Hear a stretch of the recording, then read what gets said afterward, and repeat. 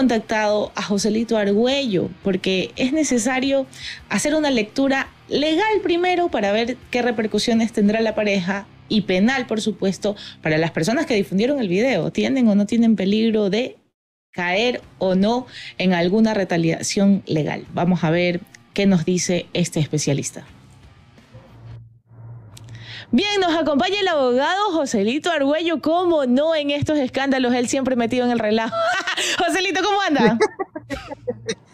Hable serio. ¿Qué ha habido? Todo bien, todo bien. Muchas gracias por, por la oportunidad y el espacio. Joselito, yo estoy, bueno, con muchas dudas encima, este escándalo de la aerovía. Es importante que nosotros recordemos a nivel legal y bueno, vamos a ser bastante concretos en esta pequeña entrevista que le pido. Cuando hablamos de un acto sexual en un lugar público, ¿hay pena o no hay pena? Bueno, definitivamente la legislación ecuatoriana hasta el año 2014 determinaba una sanción para quien cometía este tipo de actos, pero posterior a eso se dejó sin efecto y hoy tendremos que decir que dentro de la normativa penal no existe una sanción para la persona que cometa este tipo de actos que están determinados dentro del pudor. Ya, es importante determinar, no, entonces no hay ninguna sanción, la gente puede eh, hacer uso de la vía pública para sus cosas sin ser sancionada. Pero entiendo que los gobiernos autónomos descentralizados tienen eh, determinadas, determinados lineamientos y normativas en torno al tema, o tampoco pueden hacer injerencia, porque tampoco la gente puede ir y hacer y deshacer, pues, Joselito. Claro, sí, definitivamente dentro de la normativa penal, como manifestamos, mi querida Blanquita, no existe, pero los gobiernos seccionales, en este caso los municipios, tienen la potestad y la capacidad de regular las ordenanzas para determinar o para sancionar o multar con este en, en caso de que se produzcan este tipo de actos. Pero aquí, si usted me pregunta en el contexto social de Guayaquil con respecto a las ordenanzas que rijan de pronto eh, una acción de esta naturaleza, definitivamente no hay.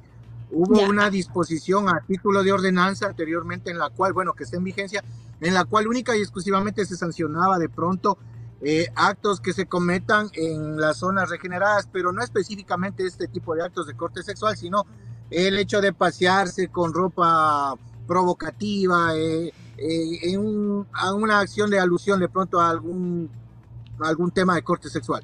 Pero definitivamente este tipo de cosas no. Bien, importantísimo, Joselito, porque cuando nosotros estamos eh, mirando un hecho como este, que es un escándalo público, por supuesto que salta también a la duda el uso y la, el mal uso de este audiovisual. Primero, la Aerovía es una entidad regida por un consorcio que es privado, que tiene su sistema de cámaras de seguridad, que dan seguridad a la ciudadanía. Pero este video se filtra y allí hay alguna contravención legal, penal para quien filtra el video, incluso para la entidad que está comprometida en el hecho, Joselito. Sí, definitivamente, mire, eh, la aerovía es una, eh, trabaja ¿no? dentro del ámbito privado, pero prestando servicio público, tiene dinero de pronto público y evidentemente ya la ciudadanía sabe cómo funciona. Pero aquí hay una situación y tal como usted hace referencia, ahí hay responsabilidad de corte penal por la difusión de pronto de ese video que definitivamente no tenía que ser difundido.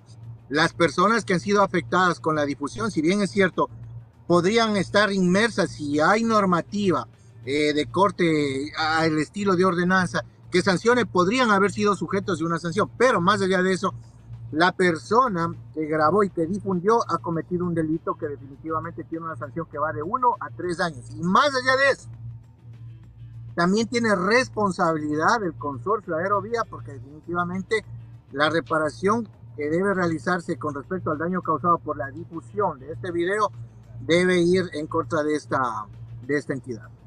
Ahora, ¿en qué figura legal eh, entra la difusión de este video? O sea, usted me dice de la, sanción de, es de uno a tres años de cárcel, pero ¿en qué figura entra? ¿En difusión de contenido privado? ¿En qué es? No, bueno, eh, la normativa es clara al determinar en la sección sexta, dentro de los delitos contra el derecho a la intimidad personal y familiar, específicamente en el artículo 178 que nos habla de la violación a la intimidad, de que la persona que sin contar con el consentimiento o la autorización legal acceda, hay muchos verbos rectores, acceda intercepte, examine, retenga, grave, reproduzca, difunda o publique datos personales, mensajes de datos, voz, audio y videos, será sancionado con pena de prisión de uno a tres años. Y importante, y la persona, las dos personas involucradas en el video pueden entonces poner una demanda penal a propósito de este, esta difusión no autorizada de su imagen. Definitivamente, y si me contratan a mí, mejor todavía. Ellos pueden proponer una denuncia por violación a la intimidad. Que no falte la cuña de Joselito Argüello. Siempre gracias por sus luces, Joselito. Es importante que la sociedad esté enterada de que no se puede hacer y deshacer con el material privado de las personas. Y tampoco se puede estar haciendo actos inmorales en, espacios públicos, aunque no tenga pena legal. Ya lo ha dicho aquí nuestro profe. dígame, dígame. Eh, eso ya más se circunscribe dentro del ámbito de la ética y la moral, definitivamente. Pero si no hay una determinación a título de ordenanza, definitivamente lo que no está penado está permitido, pero esto nos da una lección. Y aquí viene el llamado de atención a los concejales, al alcalde Aquiles Álvarez, pónganse a trabajar, pues hagan una ordenanza. Así es, vamos a ver qué dice también el consorcio de Aerovía. Entiendo que ya en pocas horas está el comunicado. Así que muchísimas gracias, Joselito Argüello, por estas luces que nos da en el ámbito penal. Gracias, un saludo.